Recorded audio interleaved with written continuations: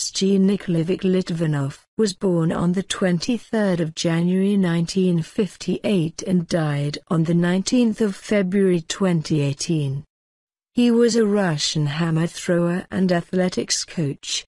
He competed at the 1980 Summer Olympics and the 1988 Summer Olympics, missing the 1984 Summer Olympics due to the Soviet boycott, and won a silver and a gold medal, respectively. He also won two world titles, in 1983 and 1987.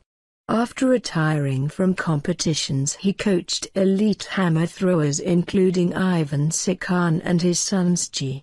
Throughout his career Litvinov battled with Yuriy Sedykh.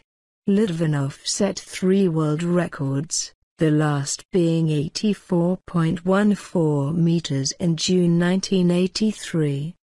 However, Sedykh improved the world record to 86.34 meters in 1984 and to 86.74 meters at the 1986 European Championships.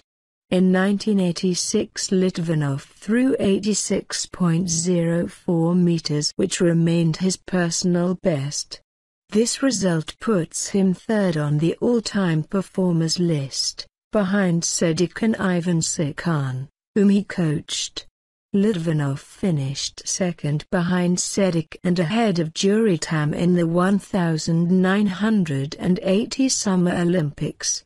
After missing the 1984 Games because of the Soviet boycott, he won the gold in 1988 ahead of Sedykh. His throw of 84.80 meters remains the Olympic record.